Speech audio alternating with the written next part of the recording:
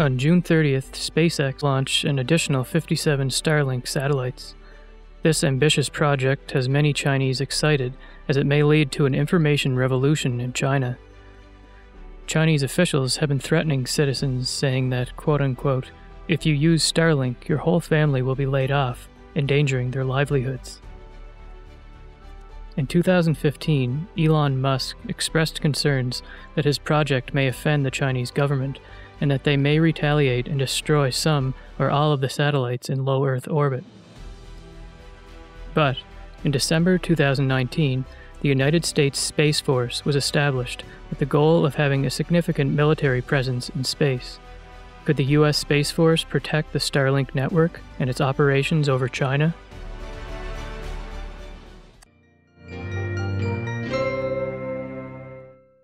Welcome to China Observer. I'm Fox Canning.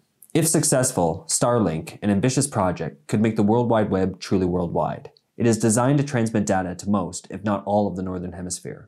The network of low Earth orbit satellites would allow transmission of data at an unprecedented speed to both urban and, more importantly, rural populations. The project has attracted significant attention from the Chinese population. Why? Starlink can challenge the Great Firewall and ultimately pave the way for freedom of information in China. China has the least internet freedom in the world.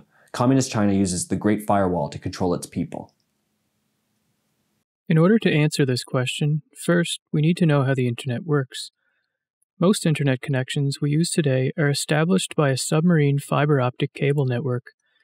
This network connects the servers and internet providers of different countries and regions across stretches of oceans and seas. Unlike a cable network, Starlink megaconstellations operates in low Earth orbit, facilitating almost light speed data transfer in the space vacuum at an altitude of 550 kilometers. As it operates at low Earth orbit, the satellites need to move fast, and a mass number is needed to maintain coverage. That is why SpaceX has applied for the launch of 42,000 satellites. By 2019, 12,000 have been approved, and 540 have been launched. Starlink has enormous economic potential. In the stock market, a 1 millisecond delay could mean hundreds of millions of price change. Starlink will also break the limitation of simultaneous data transmission, allowing data to be transferred in gigabytes per second. In terms of cost, experts say the price for the US to move from 4G to 5G would be roughly 15 billion on fiber optic cable alone, while the estimated cost of Starlink is only 10 billion. Technically, Starlink, if being a direct internet service provider itself, has possessed everything needed to bypass the Great Firewall. In China, Google, Facebook, YouTube, and many websites people can enjoy around the world have been blocked. This is called the Great Firewall Project. Other censorship programs, such as the Golden Shield, were started when the Internet arrived in China in 1994. In 2000, the CCP established legislation to give power to specific departments to monitor the quote unquote internet security and within years, the complexity and sophistication of the project intensified greatly. Western ideologies, especially political ideas on democracy, human rights, and freedom, and also contents that are harmful to Beijing's authority, such as the 1989 Tiananmen Square massacre, were constantly filtered and blocked in China. The project took a further step into mass surveillance on Chinese people. Many activists and human rights lawyers were arrested because of their online speech. The Great Firewall is a state machine that combines civil, business, government, and military layers to monitor the Chinese people. According to Chinese laws, Chinese companies are responsible for the content on their platforms.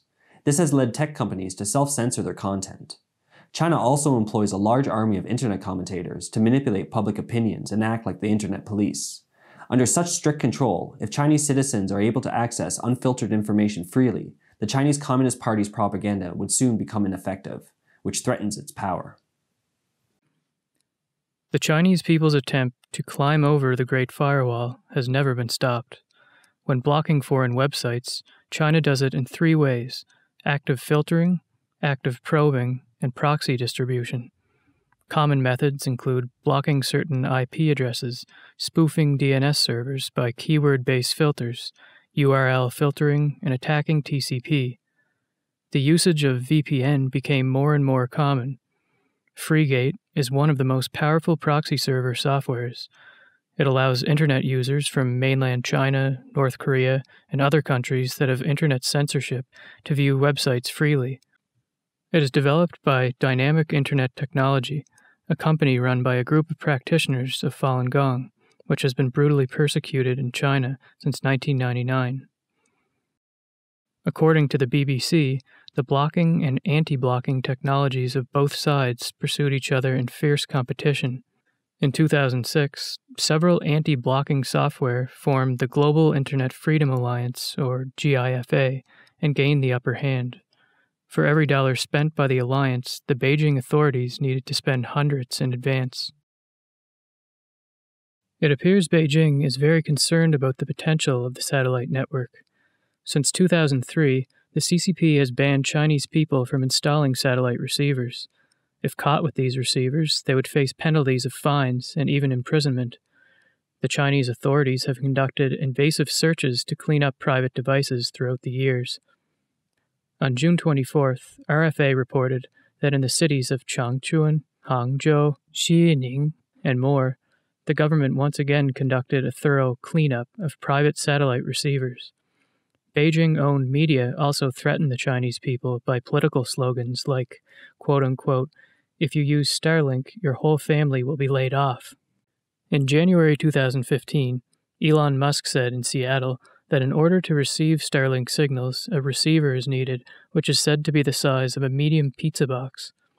By simply placing it outside, it will automatically track the satellite network and receive its signal. When asked of his plan with China, he said, quote, Obviously, any given country can say it's illegal to have a ground link, and from our standpoint, we could conceivably continue to broadcast.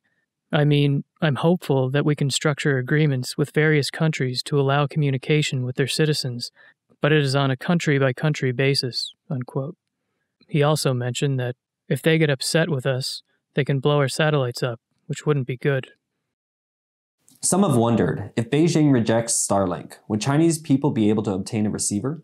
Starlink has not announced details on the format of satellite data, nor has there been a prototype receiver released.